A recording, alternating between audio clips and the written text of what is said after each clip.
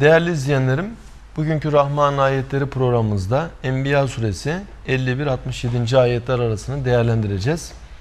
Allahu Teala burada e, tevhid mücadelesinin en güzel tablolarından birisini bize sunuyor.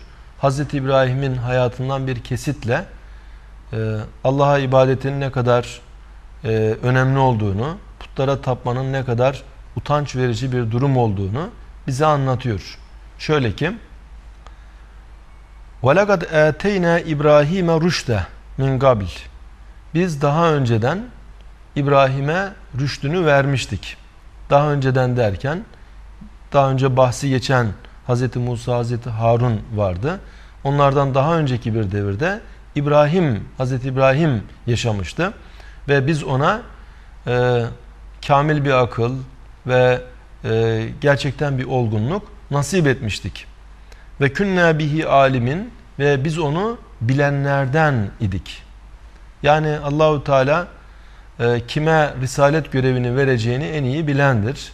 Böyle olunca Hz. İbrahim'in de bu göreve layık olduğunu elbette Allahu Teala en iyi biliyor ve ona göre onu seçiyor. Nitekim e, Bakara suresinde anlatıldığı üzere Allahu Teala şöyle bildirmekte. Ve izibtela İbrahim'e rabbuhu bi kelimatin feetemmehun.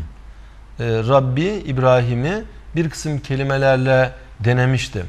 O da bunları başarıyla tamamladı. Gale inni cailüke linnâsi imâme. Cenab-ı Hak buyurdu ki ben seni insanlara önder kılacağım.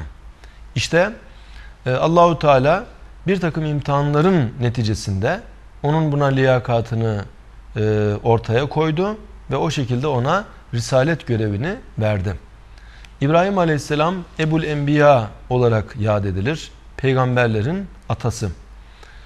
Hazreti İsmail onun oğullarından birisi. Hazreti İshak bir başka oğlu. Hazreti İsmail'in neslinden Peygamber Efendimiz gelmiştir. Hazreti İshak'ın neslinden de yine pek çok peygamberler gelmiştir.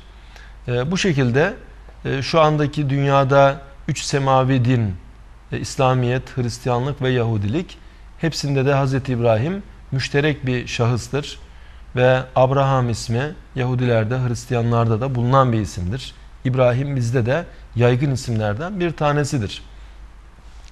İşte e, İbrahim Aleyhisselam tevhid davasını e, en güzel müdafaa edenlerden birisi.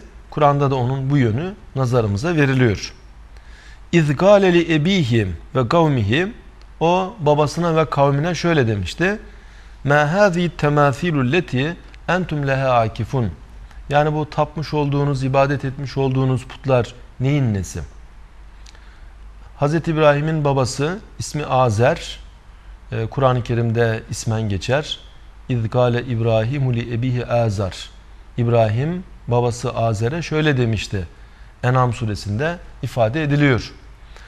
Ee, Tabi Hz. İbrahim gibi bir peygamberin put yapıp satan bir babadan dünyaya gelmesi o da ilginç bir durum. Allah ölüden diri, diriden ölü çıkarıyor. Hz. Nuh'un oğullarından birisi iman etmedi. Peygamber oğlu ama mümin değil. Öte yandan Hz. İbrahim en büyük peygamberlerden ama babası e, putperest. Hatta put yapıp satan birisi. Ve bunlar kendi elleriyle yaptıkları putlara ibadet ediyorlardı. İbrahim Aleyhisselam daha çocukluğundan itibaren onlara tavrını koydu ve tepkisini gösterdi. Ve onlara şöyle dedi. Bu ibadet etmiş olduğunuz putlar neyin nesi? Yani bunlarda ne buluyorsunuz? Galu vecedna abaana biz atalarımızı bulduk leha abidin o putlara ibadet eder bir şekilde bulduk. Yani o putlara, heykellere ibadet eder bir şekilde bulduk. Biz de onların peşinden devam ediyoruz. Çünkü Hz. İbrahim'in e, nedir bu taptığınız putlar değişinde niye bunlara tapıyorsunuz sorusu e, zımni olarak kendini hissettiriyor. Onlar buna göre cevap verdiler. E, atalarımız da bunlara tapıyordu. E, dolayısıyla biz de atalarımızın dinine tabiiz dediler. Gale Hz. İbrahim şöyle dedi. Lagad kuntum entum ve abaukum yani hem siz hem de sizin ecdadınız, atalarınız fi dalalin mubin apaçık bir dalalet içinde oldunuz. Yani o kadar açık bir dalalet ki bunu anlamak için çok fazla bir şeye de lüzum yok. Gözler önünde gayet vazıh bir, açık bir dalalet içindesiniz. Galu ecitena bil hak. Onlar dediler ki gerçek gerçek mi söylüyorsun? Yani bu dediklerinde samimi misin? Em ente minel laibin yoksa oyun mu oynuyorsun bizimle? Muhtemelen bu Hz. İbrahim ilk defa onlara söylediğinde göstermiş oldukları bir tepki. Hz. İbrahim'den bu kadar net ifadelerle e, putperestliğin, heykelperestliğin tenkit edilmesine adeta inanamadılar. Ve bundan dolayı da yani doğru mu söylüyorsun yoksa bizimle oyun mu oynuyorsun dediler. Gale bel rabbukum rabbus semavati vel ard ellezî fatarahunne. Sizin Rabbiniz göklerin ve yeri, gökleri ve yeri e, yaratan, e, göklerin ve yerin Rabbi olan zattır. Ellezî fatarahunne ki o onları yarattı. Yani gökleri ve yeri yaratan zat sizin Rabbinizdir. Veya e, buradaki zamir eğer o heykellere raci kılınacak olursa, onların taptığı putlara raci kılınacak olur, olursa, yani sizin o tapmış olduğunuz putları da yaratan Allah'tır. Ve o Allah göklerin ve yerin Rabbidir. Sizin de Rabbiniz O'dur. Başka bir Rab aramayınız. Ve ene ala zalikum mineşşahidin ve ben buna şehadet edenlerdenim. Bunun böyle olduğuna inananlardan ve bunu aleme ilan edenlerdenim. Yani sizin Rabbiniz göklerin ve yerin Rabbidir. Ee, gökleri ve yeri yaratan O'dur. Tapmış olduğunuz putları, heykelleri de yaratan yine O'dur. Ben buna şehadet ediyorum. Bu böyledir. Ve tallahi Allah'a yemin ederim ki le ekidenne asnamakum sizin putlarınıza ben bir hile düşüneceğim. Bade en tuvellu mudbirin siz buradan ayrıldıktan sonra ben onlara bir hile düşüneceğim. Burada hile denilmesi açıktan yapmamasından dolayı e, ve onları ilzam edebilmek için kendi iç dünyasında bir plan proje yapıyor ve ona göre onları ilzam etmeyi hedefliyor. E, muhtemelen Hz. İbrahim bunu doğrudan onların yüzüne söylemedi.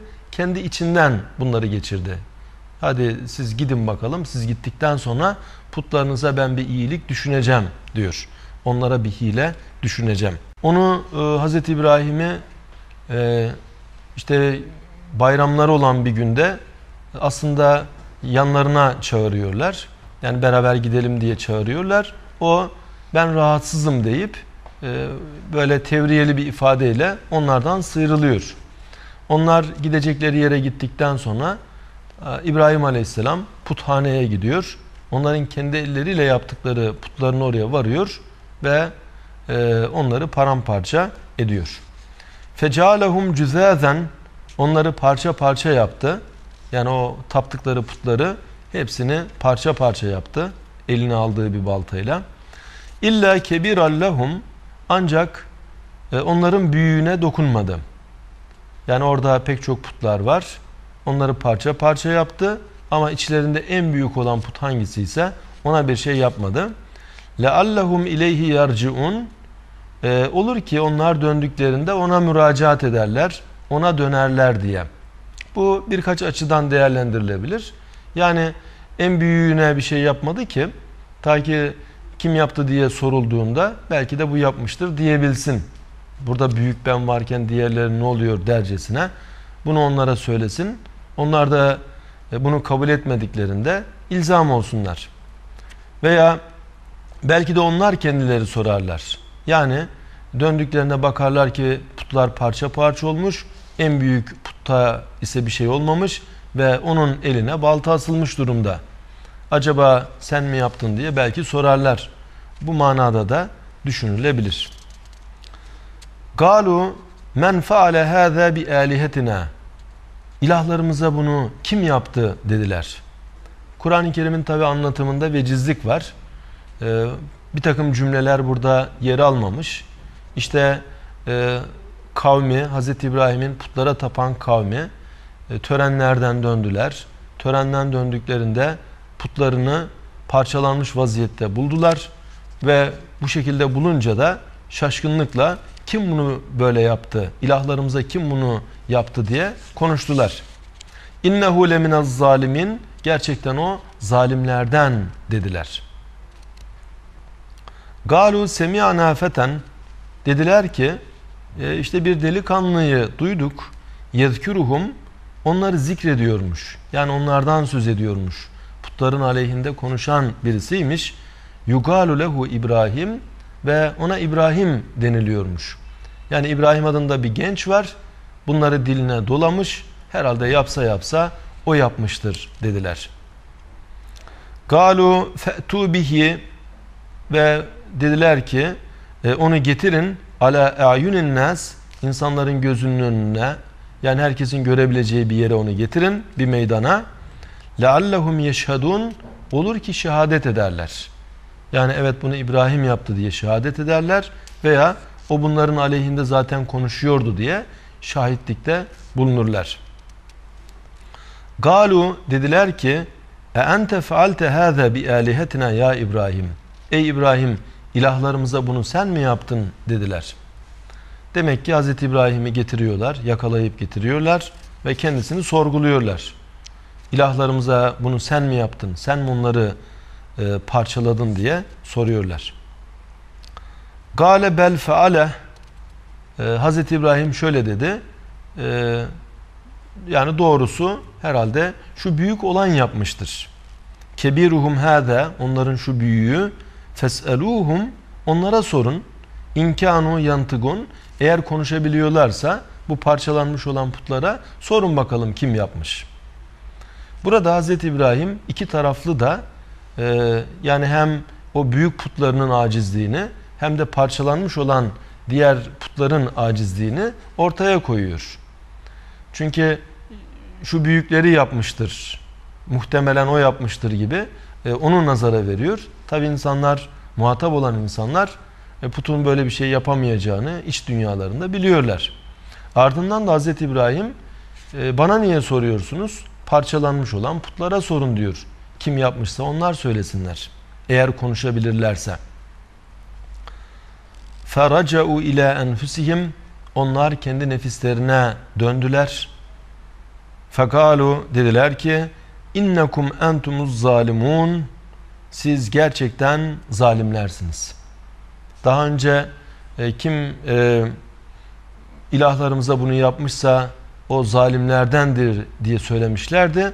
Ama burada akılları başlarına geliyor.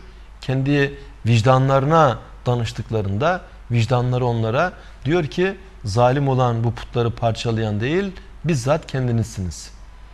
Ve böylece akılları başlarına gelir gibi oluyor ve anlamış gibi oluyorlar meseleyi. ثُمَّ نُكِسُوا عَلَى رُؤُسِهِمْ Sonra e, gerisin geriye çevrildiler.